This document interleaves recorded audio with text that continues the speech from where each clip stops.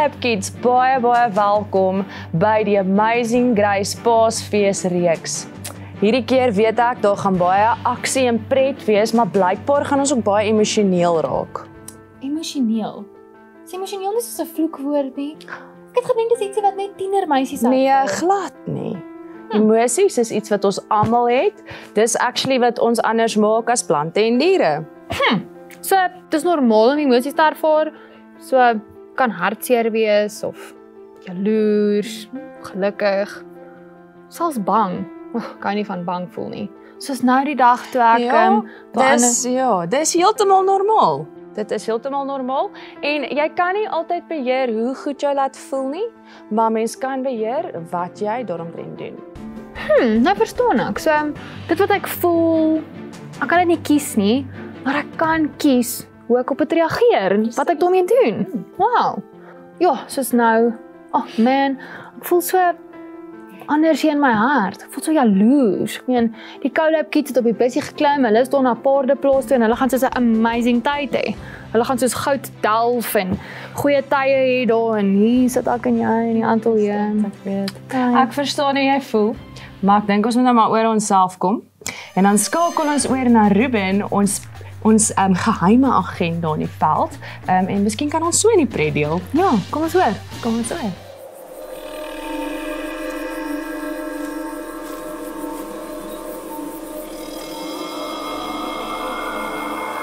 Jean, Jean, kom in. Ruben, ek hoor jou. Ek, ek hoor jou duidelik. Hoor jy hoe gaan dit daar by die groep op paardeplaas? Jy sal nie glo nie. Hierdie klomp stadskinders is so bang. Dink nie eers hulle gaan hier 'n naweek hou nie.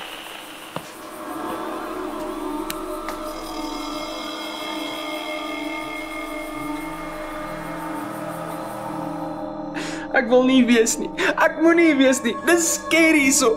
Is nie elektrisiteit nie. Is nie wifi nie. Is nie Netflix series nie. Hulle sê mens eet tot 8 spinnekop per jaar.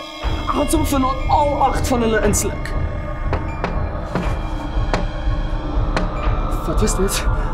Ag nee Bernard, dis 'n elke horror movie wat nee. Nee, ek wil nie weet nie. Ja! La! Jy geweet hulle het soos legit regte goud in die 1850s hier gemyn. Bro, jy kan my nie so skrik maak nie. Wat doen jy?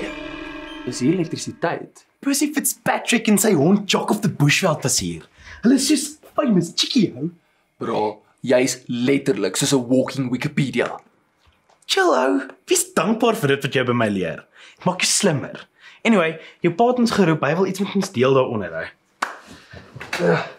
So gee die wifi password. Ja, asseblief. Ja, julle, dis 'n lekker aand. Ons het vuur gemaak, so ons gaan nou 'n lekker sessie hê. Terwyl ons nou vir Bernard en Joshua wag, kom ons begin sommer net bietjie en ons check in. Hoe gaan dit met elkeen? Het julle lekker gereis? Almal happy, gesond en alles? Ons was so lekker. Ja, ja ons sê dat ek vir Bernard gekry. Was so bo, bietjie bang. Dit was 'n bietjie skrikker. Bietjie baie bang. Hoorie, dankie. Ek weet nie wat ek sonder jou sou gedoen het. Liewe aarde, wat gaan hier aan? Nee, nee man. Relax. Dis 'n moed. my uit. George ek nie meer hier wees nie. Jy het vir my gesê ons gaan goud kom delf. Jy het nie vir my gesê ons kom na prehistoriese plek toe waar vlermuise nes maak in jou hare nie. Wat as ek nog 'n pandemie huis toe vat? Toe was Stefanie. Vlermuise in Suid-Afrika byt nie mense nie. Nee, ag, julle haal almal net so 'n bietjie diep asem. Weet julle wat?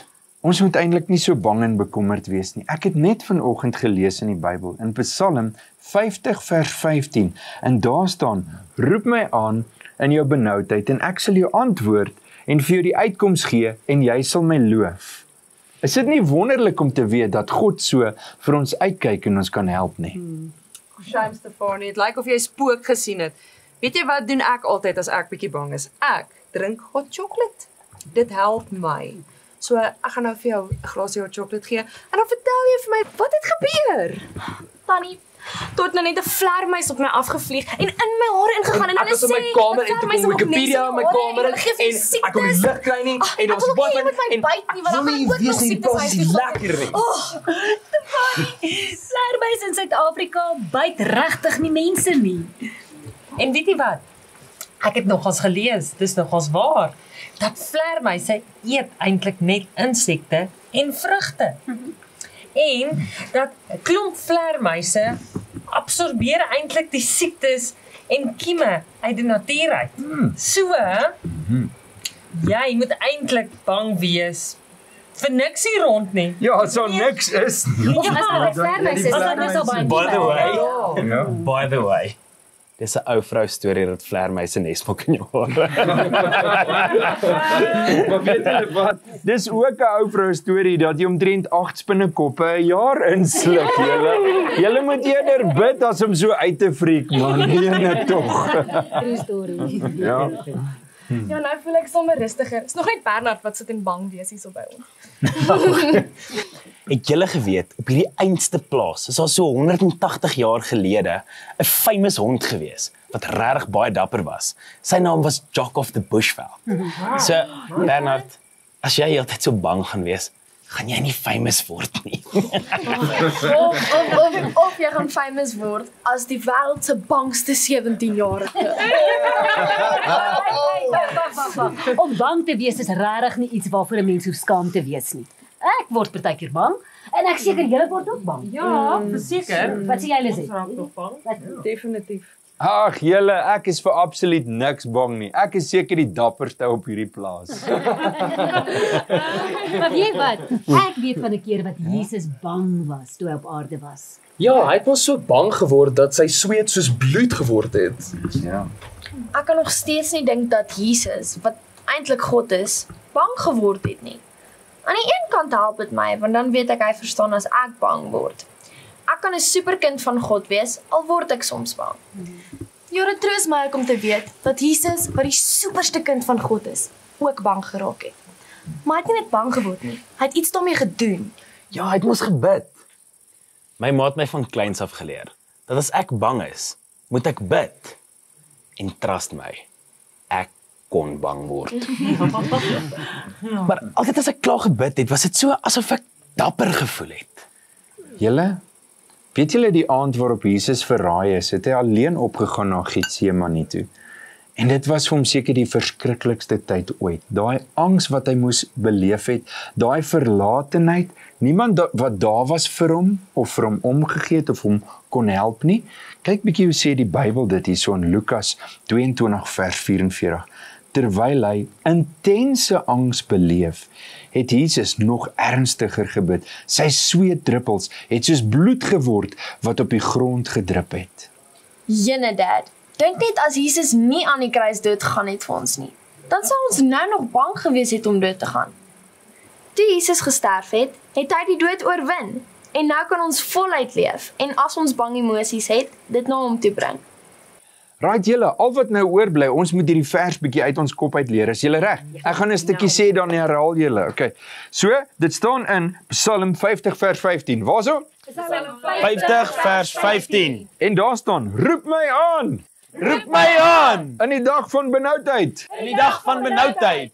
Ek sal jou uithelp Ek sal jou uithelp en jy sal my eer. en jy sal my eer. Straai dit weer. Roep my aan Roep my aan in die dag van benoudheid. in die dag van benoudheid. Ek sal jou uithelp Ek sal jou uithelp en jy sal my eer. en jy sal my eer. Ja, goeie werk, mooi julle.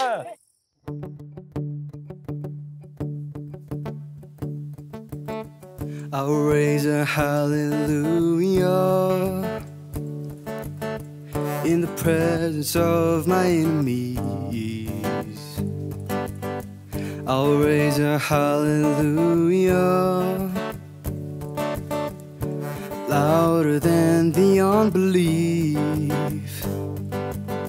I'll raise a hallelujah. My weapon is a melody. I'll raise a hallelujah. Comes to fight for me. I'm gonna sing in the middle of the storm. Louder and louder, you're gonna hear my praises roar up from the ashes. Hope will arise. Death is defeated, the King is alive. A hallelujah with everything inside of me. I raise a hallelujah. I will watch the darkness flee.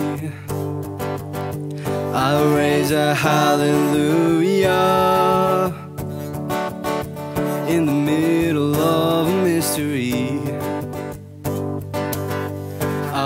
A hallelujah. Fear you've lost your hold on me. And I'm gonna sing in the middle of the storm. Louder and louder, you're gonna hear my praises roar. Up from the ashes, hope will arise. Death is defeated, the King is alive. I'm gonna sing in the middle of the storm. Louder and louder, you're gonna hear my praises roar. Up from the ashes, hope will arise. Death is defeated, the King is alive.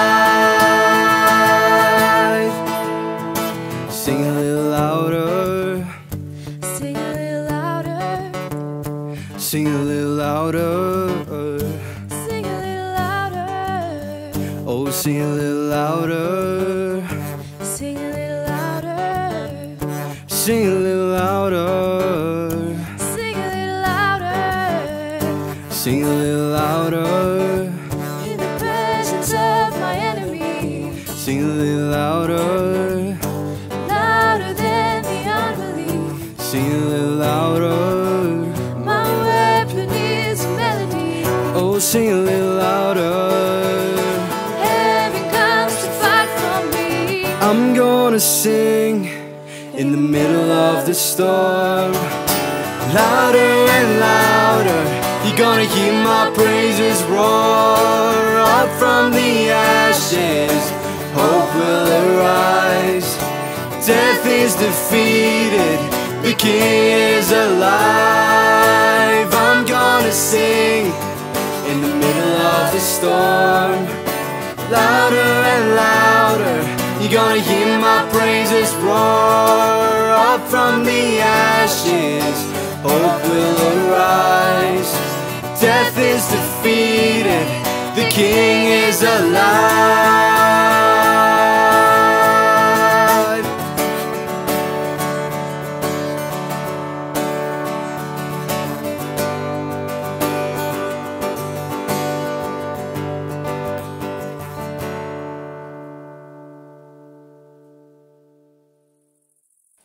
Hey Zoe.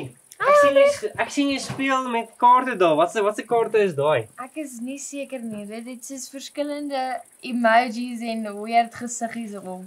Legit, ek sien Ja. ek sien hierdie is dieselfde. Terwyl ek nou skorrel goed gewas het. O, geluk, jy het dit goed gedoen. Baie dankie, ook baie dankie. Het ek gehoor julle praat van Psalm 50 vers 15. Ons het. Ons het. Nou, weet jy wat baie interessant is vir my? Hm? Ek ken 'n baie cool kaart game om daai ja, met die kaarte om daai Psalm te verduidelik. Moet ek jou gou verduidelik? Ja. Hierdie game is presies so Snap. Ken jy Snap? Ja, ek ken dit. Dis 'n snap obviously werk so. Jy gaan 'n kaartjie neersit en dan as die kaartjie wat jy neersit dieselfde is as hierdie kaartjie, dan is dit nou snap. Ja. Maar die verskil is hierdie is nie snap nie. Hierdie gaan oor emojis.